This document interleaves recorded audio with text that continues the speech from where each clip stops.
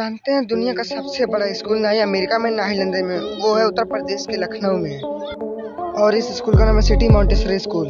और लखनऊ के इस स्कूल में छप्पन हज़ार से ज़्यादा बच्चों, चार हज़ार पाँच से ज़्यादा स्टाफ है। और इस स्कूल में ढाई हज़ार से ज़्यादा टीचर्स और एक हज़ार से ज़्यादा क्लासरूम है।